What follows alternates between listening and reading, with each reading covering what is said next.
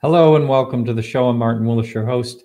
We have a great guest this evening, uh, Emily Louise, and she has a great YouTube channel and touches on this topic occasionally and has sorted through uh, a number of myths and things like that. We're going to be talking to her about that and uh, uh and a couple of other things, you know, behind the scenes here.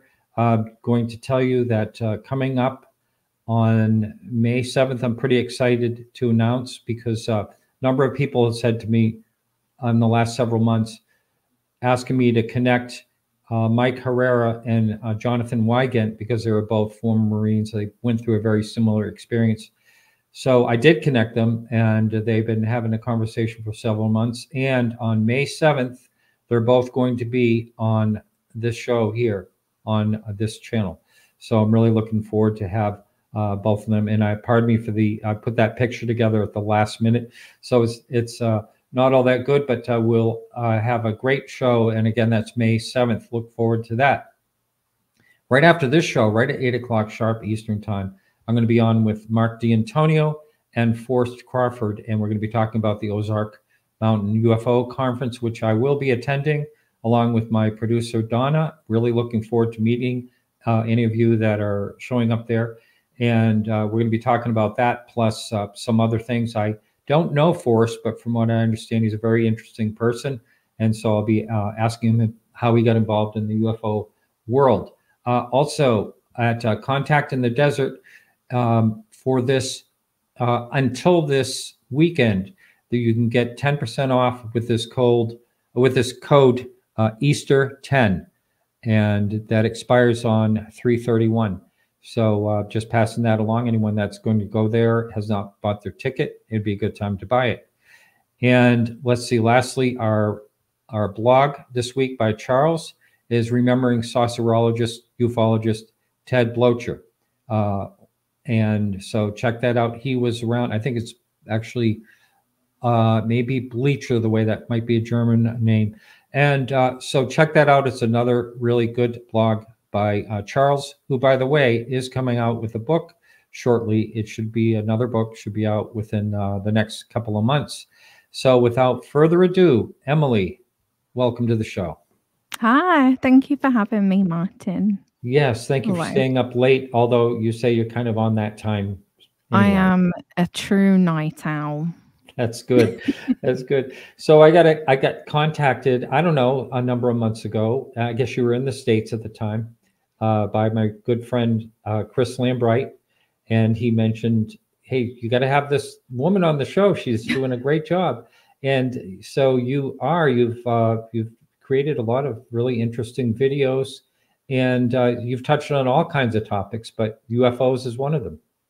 Yeah, lots. So I kind of started um making videos just about like kind of general weird um stories. Kind of started off doing like a, a video like on uh, one of the classic Art Bell phone calls, the Mel's Hole story, if you're familiar with that. Um and then oh. kind of then kind of just went into the world of um religious cults mm-hmm. and um through kind of looking at um, a lot of kind of uh, early like new age um, religious cults then then kind of pivoted a little bit into ufo world um, and yeah just covering all, all manner of like strange strange topics uh-huh. now uh, we chatted a little bit you know before we started the show and and your your approach is not as a debunker but you treat everything with skepticism, but also an open mind. Yeah, so, like uh, how, yeah. what I would say to be like a healthy skepticism, right? So, like, I've got my own personal beliefs. Um, I, am kind of like I'm very conflicted about my own personal beliefs when it comes to like UFO phenomena because I used to be a real hardcore believer. Um, I was a big big believer in kind of like the Area 51 um, Bob Lazar story. I was a big believer in um, Roswell. A lot of, you know, all, all of like the big kind of um, well known UFO lore, I was a big believer of. And like a, and, you know, still have a, a lot of like, maybe love is the wrong word now, but I have a lot of not like nostalgia for those stories. You know, like I've been to Area 51 a couple of times. I've been to Roswell, I've been to all the UFO museums. Like there's a part of me that really loves it. But there's also a part of me that has what I would call a healthy skepticism, i.e., not like discounting everything out of hand and not being what I would what I would call like a hardcore debunker. Mm-hmm. Um, I'm not necessarily like I was saying to you before, like I'm not really interested in like picking apart regular people's stories. If somebody sees a sees something or has an encounter or has like a um kind of what would be called like a, a high strange experience. Um, but there's there's certain elements um of the UFO topic that I think uh are require um a little bit more uh attention. So yeah.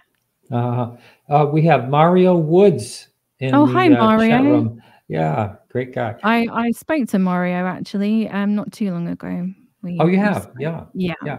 We yeah. we found out that um and by the, where I live in the uh, colder months, I'm only uh, like an hour and 15 minutes away. We're going to get together. It's a great guy. Oh, nice. Yeah. Nice. Yeah, he's, yeah. A, he is a nice guy.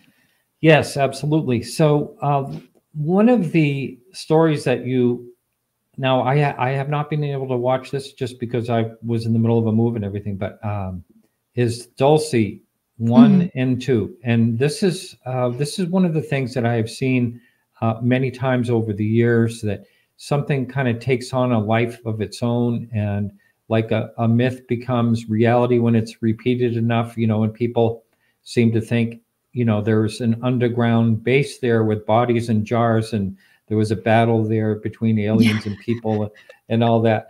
And uh, but you but uh, i know that chris lambright uh, who's listening now that he actually uh, researched that pretty deep and just found the roots of it and i'm sure that's what you came into. And if you would i'd kind of like to go over that first of all for the person that has never heard the story Oh gosh. Uh, as much as you remember of it, I know it's uh, off I the top of my head. Um, well, the whole kind of thing started with with um, cattle mutilations in the late seventies on um, the ranch of Manuel Gomez. There was a lot of kind of kind of strange elements um, elements to it, and and then um, Gabe Valdez got involved, um, who was a local uh, police officer out in Dulce. I'm trying to remember this off my head, so please forgive me if I if I mess up any of the important details. Um, but yeah, it started with a spate of, of cattle mutilations and then kind of evolved um, and took on uh, very much a life of its own. Um, because there was it, it, was also part of like a, a, larger wave of cattle mutilations like in the in the 1970s that was very much like a, a very kind of big thing that was happening.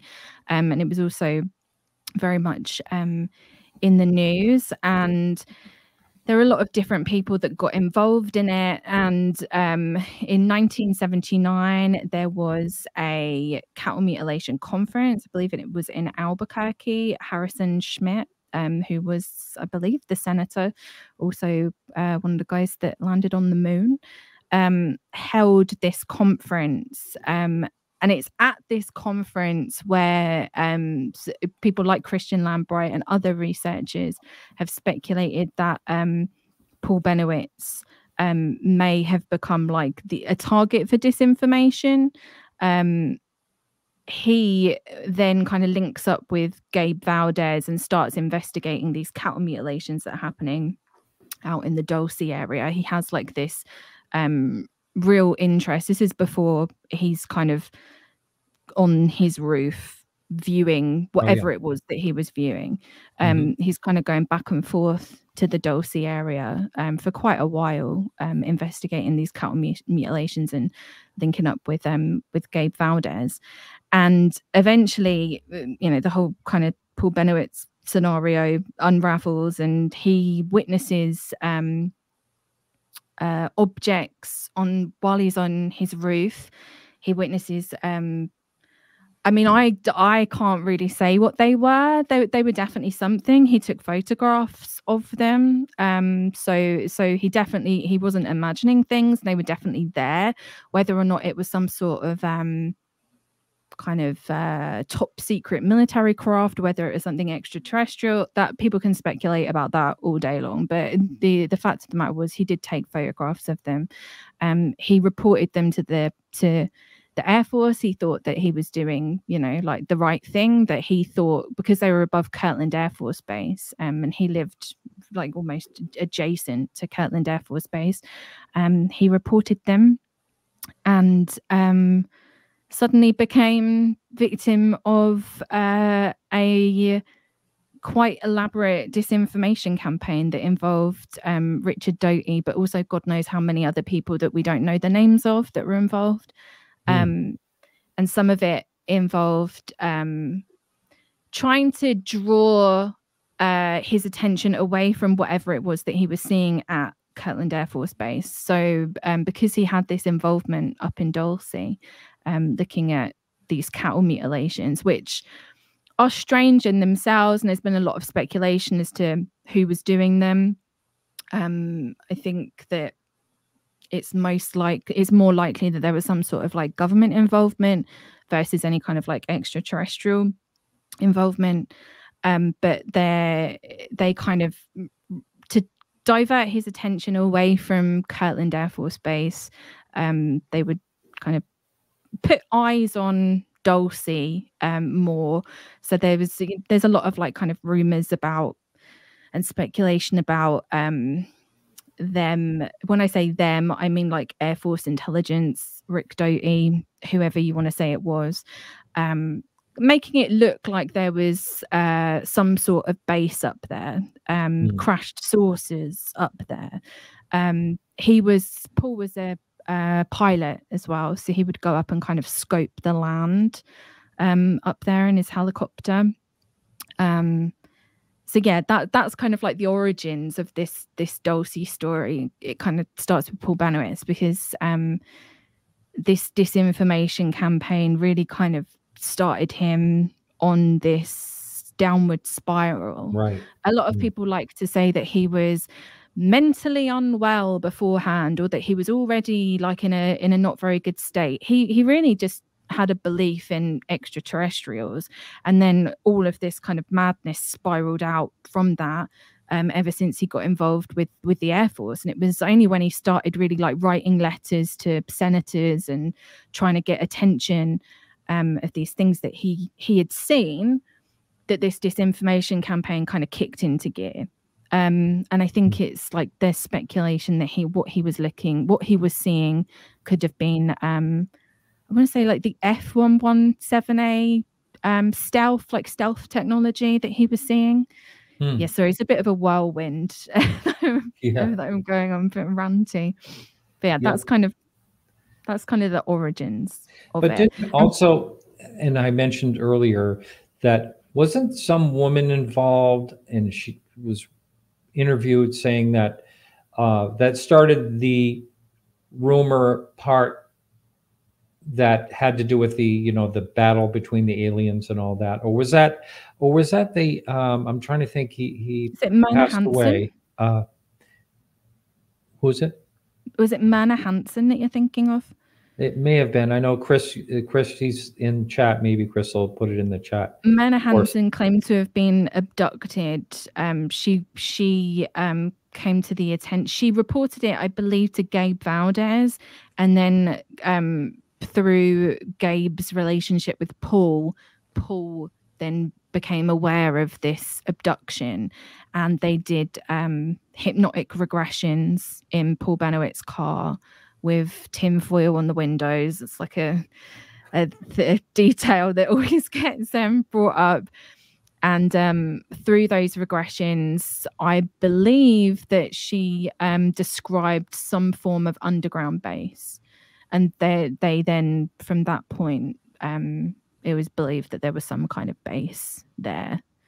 Um, but if, you talk to Rick Doty about it, Rick Doty will say that she actually what she um, described was an underground like an underground area at Kirtland Air Force Base. Mm. Um, yeah. And when it comes to the Phil Schneider stuff, like yeah, that's, that's what I was just gonna. Yeah, I was just uh, Yeah. had this question here, and that's who I was thinking of. Phil Schneider. Yes. he he kind of takes this story so then it like throughout the uh, this is kind of happening very early 80s and then towards the late 80s when you kind of get your um get your kind of bill coopers coming into the mix you know these kind of your bill coopers your john lears this kind of very like dark side of ufology that's when people like phil schneider come in i'm not 100% familiar with phil schneider's claims all i know is that he claimed to have worked at Dulce underground base, and that's where there was a there was an alien war, and he lost Yes. and he lose like half of his hand or something with a Yes, and and I guess uh, some people have found uh, a picture of him in high school with that part of his hand was also missing at that time. So that story kind of fell apart there. yeah Yeah. yeah but anyway, uh, all very interesting, and it's it's so hard to really understand, you know, what's real and what's not when it comes to some of these stories. And uh, absolutely and Dulce's a, a great example of that, for sure. absolutely because it because because it's very um worked into this disinformation campaign. Um it it's kind of yeah it becomes almost impossible to figure out what the actual truth is. And a lot of these stories also work like folklore. So they get kind of passed from one person to the other and Yeah. another person puts a twist on it. And and the further it gets down the line the harder it is to actually discern where it started what the root of it is and and what the actual truth is And you know, it's not my place here to say anything really negative about anyone, but Rick Doty, um, I just don't understand why people give him so much credit. Like he's in a lot of films, like as the alien guy, and and all this, and um, he was just someone passing disinformation. Uh, I don't think he has any more knowledge about anything other than than that. And um, no i agree with yeah. you and Yeah. he's he does have himself a nice um cushy little uh gig now on um a few like ufo live shows where I saw that. yeah And uh, so I, I just got to tell this to you and my audience is that Rick Doty was going to be on this show. Um, my friend Alejandro Rojas was upset with me, but I said, no, I want to have him on, but I'm going to have him on. And the only way I'll have him on is I contacted him and I said, I, I would, I'm glad you'll be on the show, but I have to know this is anything off limits because I'd like to be able to talk about anything I want to. And that meant I wanted to talk about the Paul Beno- Bennewitz Mhm. case and Van Boos, he's gone. And uh, he's, you know, like uh, when I have contacted him since then, he'll say, well, I'm busy for the next three months. And then I see him on someone's live show, you know, so, uh, so I know He'll- he's, yeah. he's not. Yeah. He just doesn't I want, think that yeah. he kind of he will he will um go on a I interviewed him um for my uh YouTube series oh, um that still isn't finished um he's actually a very small clip of it is in the Dulce video but I um yeah I interviewed him it first of all I will say this it first of all he asked me for money um said that he didn't do anything without money. And then um and then I said well I'm, I'm- I'm independent I literally just make these videos in my bedroom. I can't I can't pay you anything. Um and he finally he agreed to it. And we talked for about two about nearly about three hours. But Oh, through wow. through portions of it you know like a lot of the questions i had were very like um i don't want to say that he maybe he wasn't expecting them but they were very kind of like uh like very like granular details and a lot of the questions would be answered with you wouldn't understand. It would take me forever to try and explain it to you. At one point he said that i would uh, never be able to work in intelligence. That was after i asked him if he had any regrets about um you know being involved in the mental breakdown of a man mhm. and his response was it's my job you know no real remorse for it um so well, yeah he's you a know, char- he's a yeah. character I, I, it- not to stand up for him, but I, I understand that that's he's possibly saying the truth right there. That it probably was his job to do what he Mhm. did, but um, but not Oh, yeah, to, I- I, I I, can't I- imagine yeah. uh, being involved in destroying someone's life and then not having any regrets but maybe you know uh, exactly and then to and then to also you know you could then make the argument that afterwards he's just gone on to spread that disinformation on an even larger scale because i look at some of the shows that he's on and they get you know like 300 400 people watching live at any one time and it's an it's an audience that are enraptured. It's an audience that really want to believe and i don't blame them for wanting to believe because like a, a lot of us do have questions about what UFOs are. Are you are do UFOs exist? You know, a lot of people have these questions and interests, and I don't blame anybody to sit there and be interested in what he says, but he's a known disinformation agent, and I do think that he is um still dish, dishing out disinformation, whether or not it's just for his own financial gain or whether it's for another purpose. I couldn't tell you, but um yeah. Yeah it's it's disturbing because he's got, he's got a lot of people that um kind of follow him around and defend him a lot so. Yeah. Yeah you, you find that and there's you know if you've taken any time to look into this you know the culture of ufos you will see that there's yeah. just like everything else in the world there's a lot of divisiveness. There's you know black and white and me against you and yes. and, and all that unfortunately. So um, you know, I, I, I guess we could uh, go from that into what other things do you think are are myths that you've looked into? Oh gosh, I mean, there's just there's there's so one project that I kind of took a really long time to um, research was uh, I got really interested in this whole idea of like the secret space program and oh, super yeah. soldiers mm-hmm. and and this like uh, I was really interested in like people like um, Corey Goode and David oh, Wilcock, yes. people that kind of spread these kind of ideas and mm-hmm. where they came from. Um, so I put together one of the um, one of the documentaries on my channel is called uh, Alternative 3 How a Hoax Documentary Created a Conspiracy Cult. And in that, um, a start, the starting point is um, this 1977 hoax documentary called Alternative 3, which aired in the UK. Um, and it's totally fictional but it was presented like uh, like it was real. And the whole idea of it was that people were being taken and shipped to mars and in it um, they had a uh, fake um, mars landing footage right at the uh, right at the very end. So um, i kind of took that as the starting point and then um, tried to follow how that had influenced um, people in the UFO field. And because it had only aired, so it was supposed to air on April 1st, on April Fool's Day. And it, um, because of scheduling things, and there was sh- a lot of strikes going on, labor strikes, um, it had got pushed back to June. So that had mm. already kind of muddied the waters between fact and fiction, right? So mm. it comes out in June and it only airs once and it also it airs i think in canada i don't think it ever aired in the us but the word got around about it and people started to speculate about it people like gray barker there are a few other UFO zines that started to speculate about this documentary and it being real, right? So people, it was no longer this hoax thing that had been created in a studio.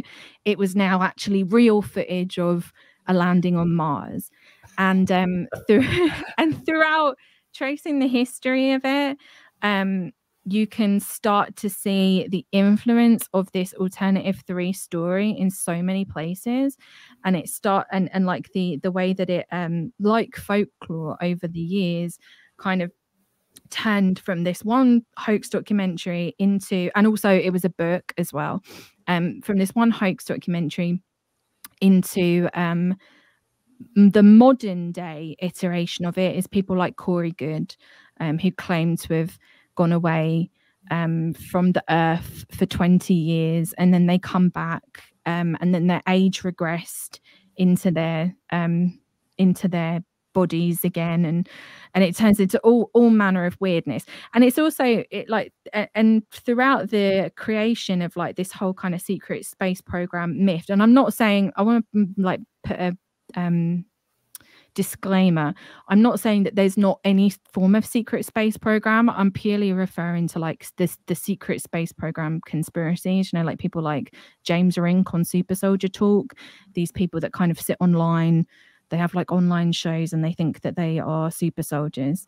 Um but through the creation of um from this alternative 3 documentary and then it also like over the years picks up like very real things um like project stargate for example um, the first Earth Battalion, which was actually trying to create super soldiers, um, remote viewing, all of that kind of stuff. And all of these things kind of like all come together and they all start to become um, this uh, secret space program conspiracy.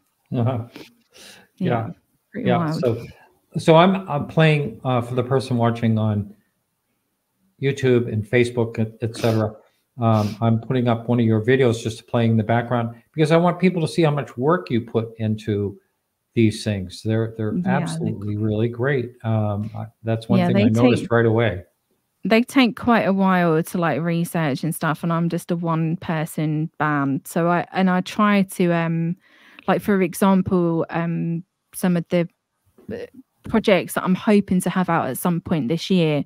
You know, I interview people as well, which I think is um an important part of this. So, um, for example, like like Mario in the chat, I've spoken to him um, regarding um, his experiences at Ellsworth Air Force Base um, for a video yes. that will be about Ellsworth. Um, so I think it's important, you know, like for me, I'm I'm a bit of a perfectionist. I'm a bit like very like detail orientated. So I try and like it's it's usually like a hindrance. Actually, I put too much too much time into it.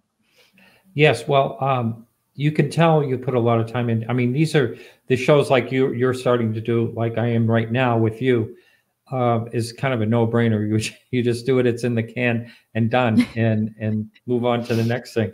But you know what? I think um, I think I'm going to open up the phones because we have a couple of people, and I'm going to ask Mario um, if he'll call in. But uh, for I know uh, Chris has said that he would call in.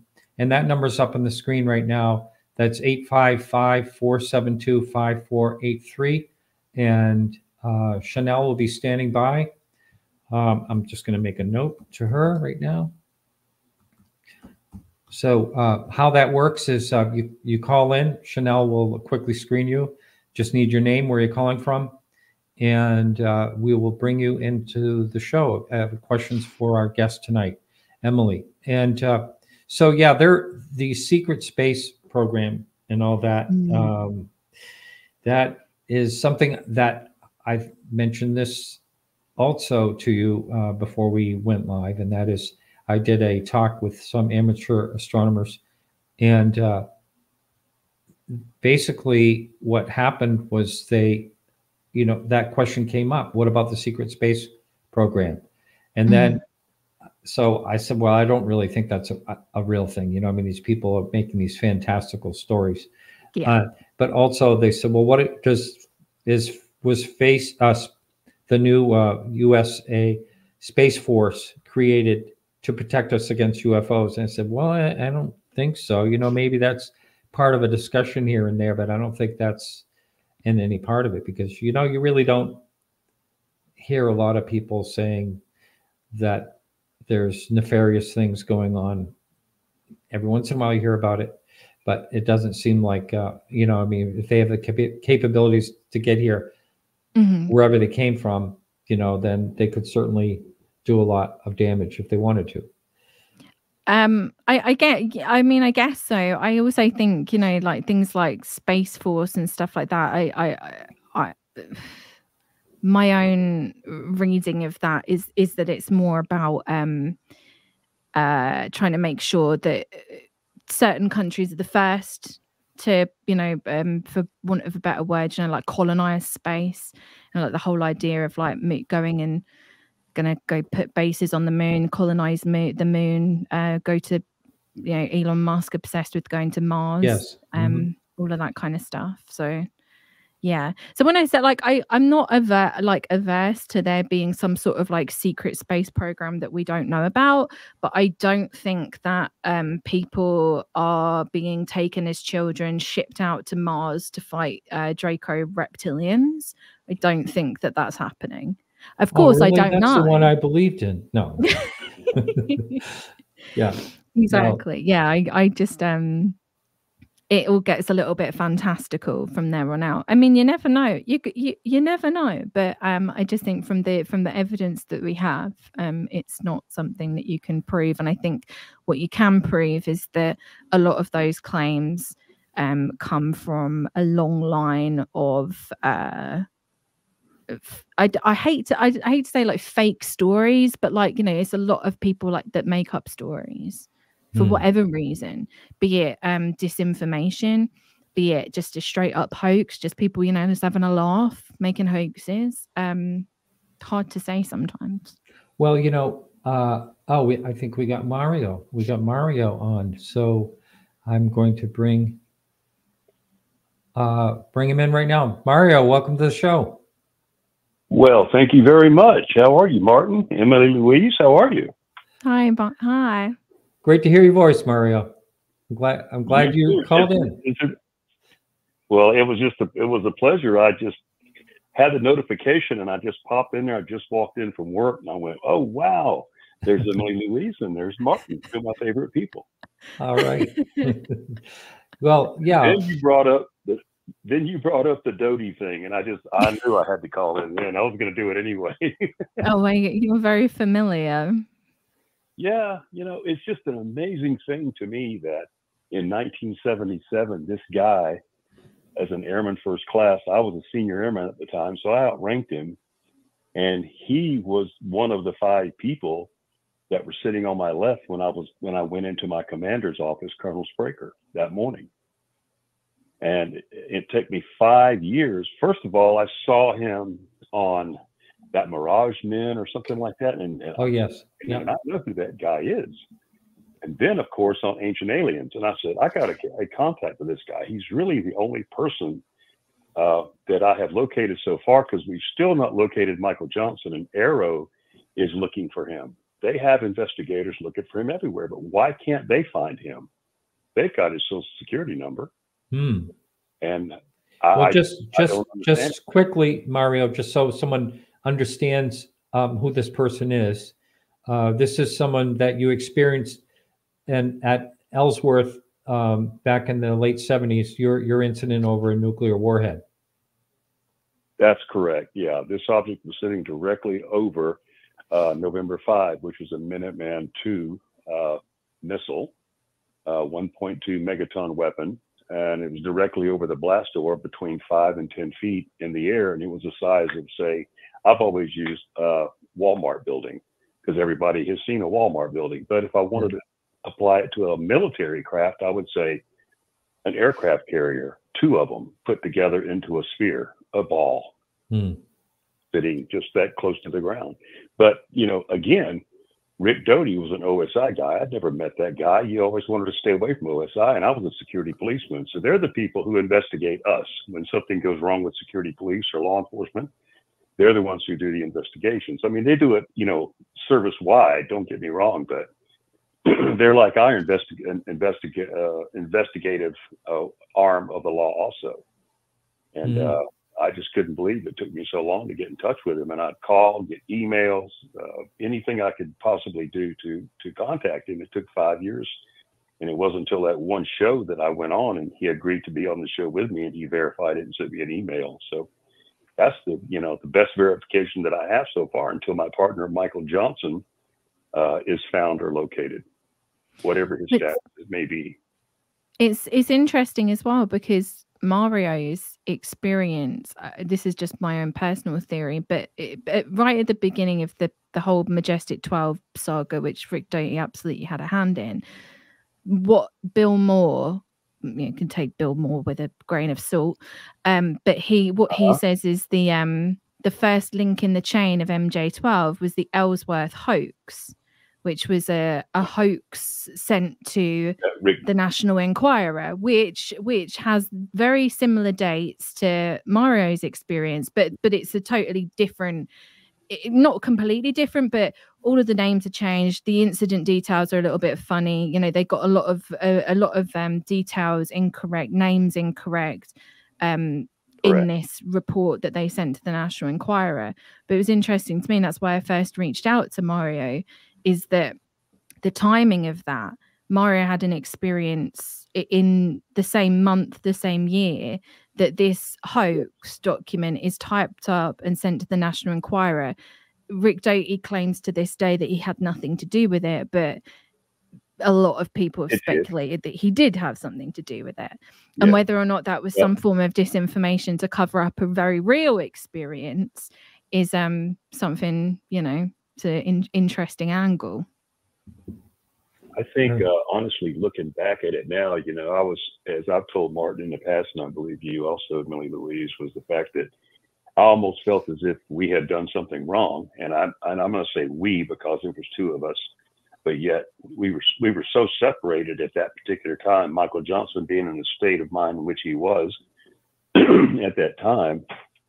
After, and after my examination with the flight surgeon's office, uh, you know, I had still not had any communication with Michael Johnson since we, as we had been separated back at November uh, control when, when I brought him back in.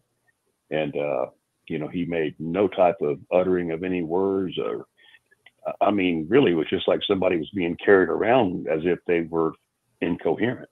Mm. But I think that my incident shook them so so to the bone that this this other incident that Rick Doty had a part in later within the same month, however, and it had to be within two or three weeks, that this other incident took place where I guess the National Enquirer came out, they were seeking people, but of course they were briefings following the next couple of days to all security police personnel. And mind you, there were approximately 800 on that base just in security and in missiles. Excuse me, this pollen down here is really bad. Mhm. But uh, I was immediately taken from November Control and sent to the alternate command post, only with supervision for the rest of my tour there at Kilo Control. And never allowed, I was never a team leader again. I was always a member uh, from that time forward until eight months later when I was departed to Osan Air Base in South Korea. Mm. And uh, the things that happened then, you know, of course, were cattle mutilations. They were going on. National Enquirer did come out into the areas of the missile field, but you know they were so well patrolled by supervision that even media representatives from the base, you know, would, would come and give briefings, of which I was part of at one point, at one time, at a, at a guard mount. You know that we were not to ever speak with anybody about any incidents or anything flying in the air or cattle mutilations or anything else that was going on. So that was a that was a real strange time. It, it honestly was, and there was so many feelings going on uh, within myself as to what had happened to me, you know, and what happened to Michael Johnson. He showed up two weeks later, 18 days maybe, at my at my apartment in Rapid City at Hainesway Apartments, and we discussed everything and drew pictures. And then when he said what he said about what he heard, you know, do not fear, do not fear. Mm. I knew he was coherent at least to hear those things. But yeah, I think there was something ramped up as far as being fake because uh, what what was the incident exactly about? An alien running across a missile site and somebody Yeah, it was a, a alien. Alien was there. Alien came down sh- with a gun, shot, yeah, that's shot, BS. I mean that's shot. so Yeah, such BS. Such BS. Yeah. That, believe me, the whole all of SAC would have known Strategic Air Command that would have been a huge incident had that really Mm. happened. You can't, course, you can't yeah. fire a round off, you know. Yeah. I Well, just- Mario, great, great talking to you. And so we're going to be catching up soon. I love it. Can't wait to see you. And thank Yeah. you for having me. Emily Louise, great to hear you too. you too. Take care. Great to talk to you, Mario. You Okay. too. You Yeah. too. Thank you. Bye bye. Yeah. Bye. Uh, so yeah, interesting. Uh, so the line's still open. Hopefully, uh, Chris Lambright will call in. But uh, one of the things, uh, you know, we, we were talking along the lines of these stories that are just so out there. I believe that and you said that people want to believe and and I, I agree with you when it comes to a lot of things especially some parts of this topic but i find that the more fantastic and wacky story is out there the more people get interested in it Mm. And and Yeah. i'm not sure if it's uh, escapism or what it is that makes people attracted to these these storios these stories the way they are I think, I mean, there's definitely an element of escapism. That's one thing that I found while research, like I said, the, the secret space program stuff. So a lot of these people, you know, I try and think about it as it as if like if you're living a life that that you know isn't particularly the way you want it to be, um, you know, you've got all manner of financial concerns. Um, you might have healthcare difficulties. Um, your job doesn't pay you very much. You know, like all of these, you know, like material um things going on in your life. It is a very um appealing form of escapism hmm uh, Mhm. especially for a lot of these people, especially for like secret space program stuff, which is like really, really when you get into like the elaborate stories, um, because it allows people to feel like they are a super soldier and that they also have some form of control and that that they can kind of leave leave the world behind, the world that isn't very um, you know, appealing. Um, there's a lot of issues, you know yeah um Yeah. And and kind of create this this fantasy world. So a lot of and it's and it, and it is very similar to how people get sucked into religious cults. And Mhm. and i genuinely do believe that everybody is susceptible. I really don't buy into any of the ideas of oh you've if you believe in this you must be an idiot. Or if you fall for this scam you're an idiot. Or if you fall for this cult uh you, you're you know whatever. Uh, all No, it I takes agree. is Yeah. is one one trauma, one bad thing to Exactly. happen that We're all will go push you through- over the edge. we all go through times in our life where we're vulnerable Yeah, and if they just happen to be looking for something at that time and something appears then yes um, any Yeah. of us could get into scientology or any other i you know i'm just trying to think of you know the the jones situation you know the way back then people are looking for uh for for that and it seems like the predatory style of some of these people they can sense it. They can see someone sitting on a park bench and know right away to go over to Yeah. that person and hey And I feel like and I feel like there's a lot of um there's a lot of that in the UFO world and I know that a lot and I I'm I don't mean it to sound disparaging towards anybody because I genuinely like I have a love for this topic as well but I think there's a lot of people that do just have like a I want to believe um and and it kind of gets taken advantage of um by bad actors.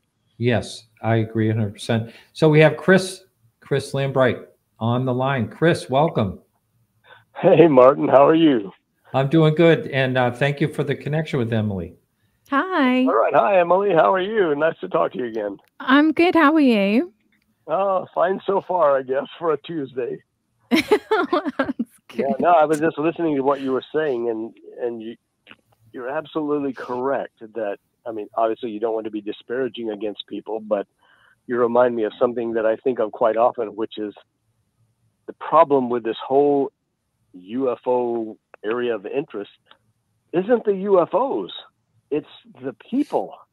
Yes, exactly. all of us want and so many of us have these convictions and things that we want but getting people to be willing to look in the mirror and at least acknowledge to themselves you know that given somebody with enough interest and not to bring up CIA people in operations and otherwise but whose whole goal is to know what it is that's going to get to you your weak Yeah. point hook you in that right way so it's the bait that's laid out there means all of us are susceptible to it.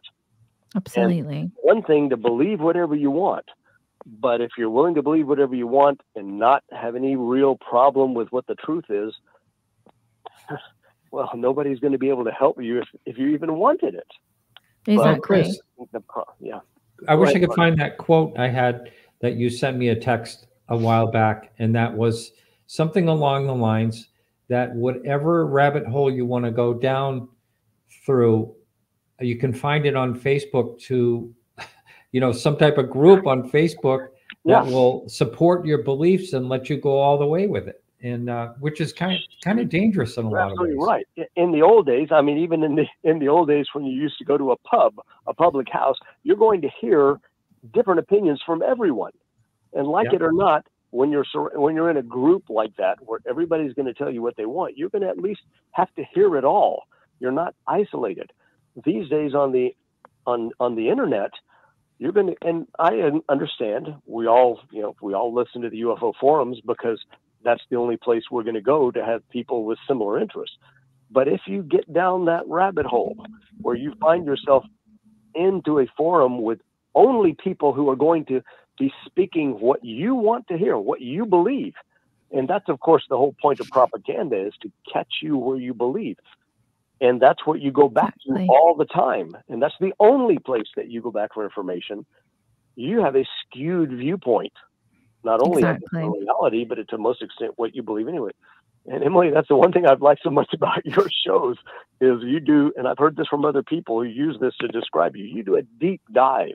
You go way beyond just the surface area and looking into what you know, what the bottom underlying facts are. And unfortunately, not many people do that. It's the difference between people that are analytical and superficial.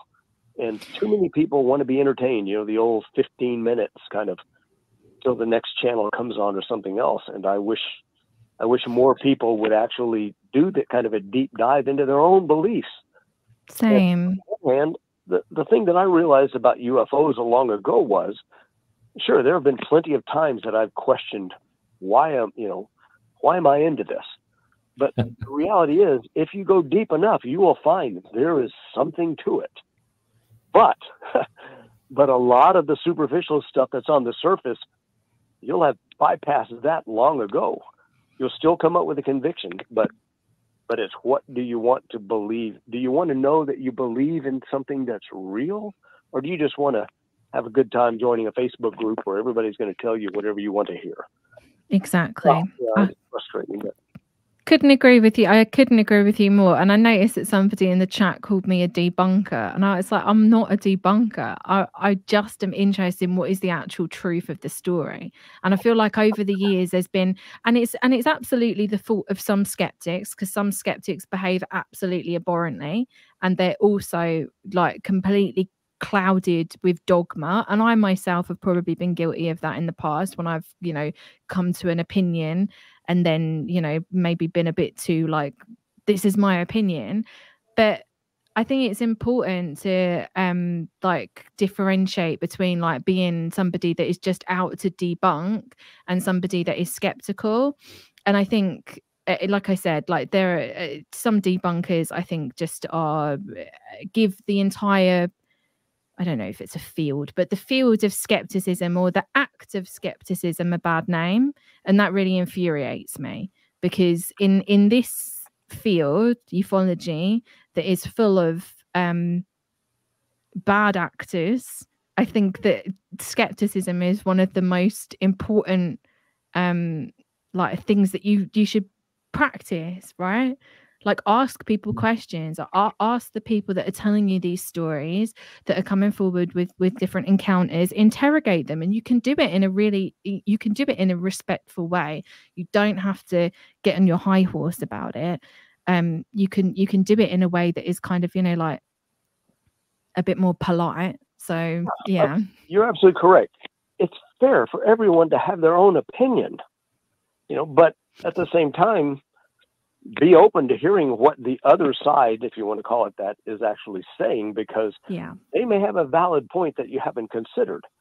I Yeah. don't really have a problem with skeptics. It's just I accept that there's this huge bell curve. And as much as ufology has the true believer woo woo crowd out on that end, there's the other side that is the skeptical side that they have planted their firmly in that domain and they've become figures of their own in the skeptical crowd. Absolutely. And now they cannot change their opinion or their mind or even say something because they've they're too vested in being skeptics.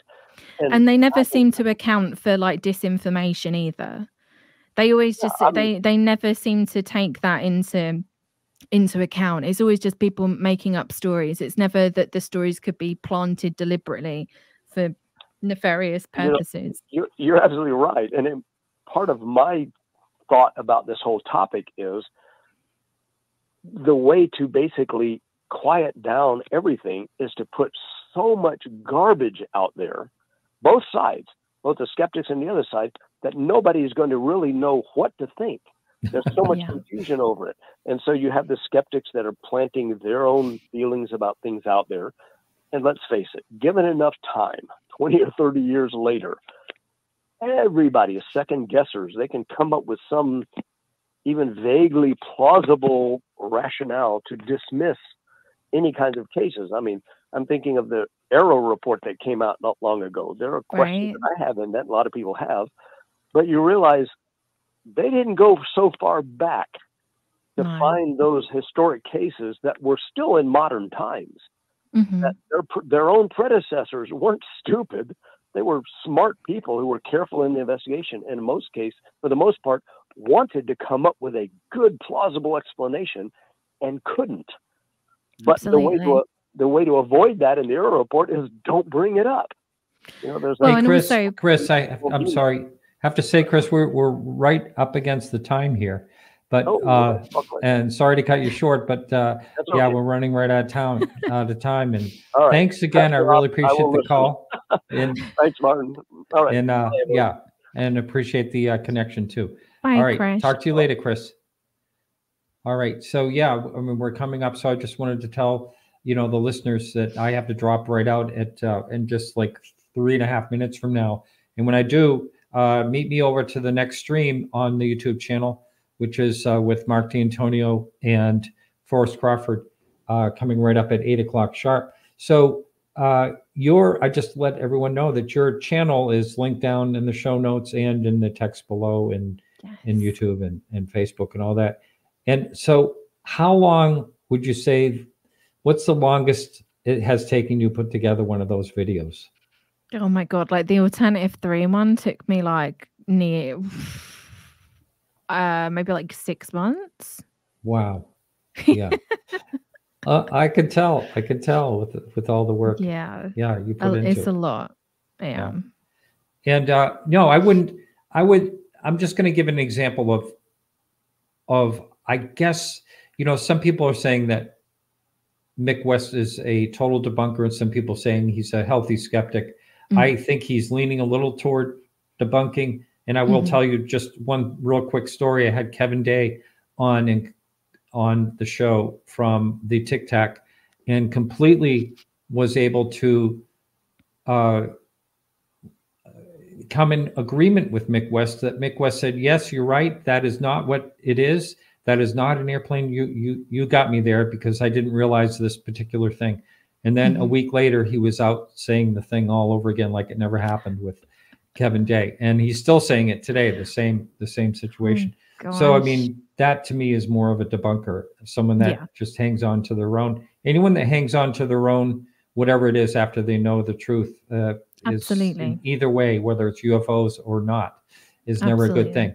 But thank you so much, Emily. It's been a real pleasure. You're welcome. Thank you so much for having me. It was really nice to talk to you. All right. Take care now. Thank you. Bye. All right, everyone. So I'm going to be going right over to the next channel with Mark D'Antonio. Next week, uh, we have Robert Powell. I'm going to be out to sea, so that'll be a, a pre recorded show. And uh, thanks so much. And remember to keep your eyes to the sky. I just have to find, here it is.